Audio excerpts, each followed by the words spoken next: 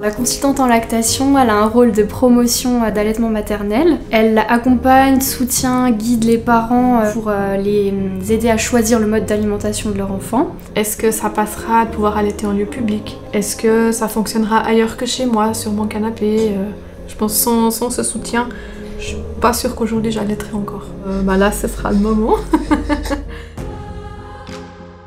C'est bien de consulter euh, avant la naissance pour justement se préparer à reconnaître les signes euh, d'éveil, les signes de faim du bébé. C'était quelque chose que je connaissais pas du tout, je m'étais pas du tout documentée avant, donc c'était un peu euh, l'inconnu. Et puis les conseils étaient magnifiques, vraiment, c'était d'un grand soutien. Aussi se renseigner sur le rythme d'un nouveau-né et sur l'implication du couple concernant l'allaitement.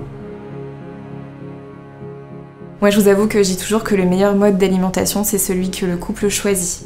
Quand nous, on a choisi le sein directement, et puis pour nous, enfin pour moi, c'était assez logique d'essayer en tout cas, puis de voir ce que ça donne.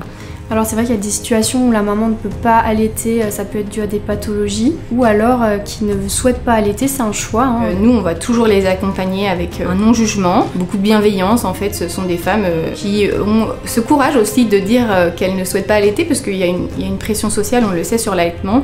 Je suis complètement à l'écoute d'une maman qui souhaite juste un biberon, et il sera bien mieux conduit que si elle se force à allaiter, vraiment. On va expliquer à la maman quels sont les premiers signes euh, d'éveil, d'envie d'avoir ce mode d'alimentation chez le bébé, quand est-ce qu'il a envie du coup euh, de recevoir son biberon. Elles ont toutes la même, euh, la même ligne de conduite, mais elles ont certaines des approches un peu différentes et ça c'est aussi, c'était aussi cool. On explique à la maman comment placer le bébé, l'emmener vers le sein, repérer aussi les signes d'envie de téter. Enfin moi je, m'attendais à ce que ça soit assez euh, inné comme, euh, comme, euh, comme moment et en fait finalement c'est pas, c'est pas si inné que ça, c'est pas si simple. Et aussi on invite l'accompagnant à bien aider la maman à s'installer pour pas qu'elle se fasse mal, avoir une bonne position.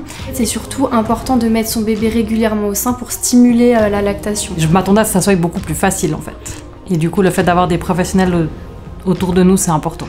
Après, le bébé, c'est surtout un besoin de succion qu'il a au début euh, et d'être rassuré euh, contre sa maman. On va euh, montrer un petit peu au papa euh, comment il peut aider sa compagne par rapport à une alimentation artificielle. On va leur montrer la bonne position du bébé pour donner le biberon. Je pensais pas en fait que le papa pouvait être utile dans l'allaitement, mais tout à fait. Si au début on utilise des tétrelles, bah, allez tout simplement les laver, les préparer, le sein d'allaitement, le placer, etc. Ça c'est des petites choses en fait euh, qui peuvent être mises en place par le papa et qui vont vraiment aider la maman comme elle avait assez de lait, c'est de, stocker un peu de lait et puis de dire bah, en fin de soirée, euh, c'est moi qui lui donnais un, biberon. Lui s'est senti beaucoup plus impliqué.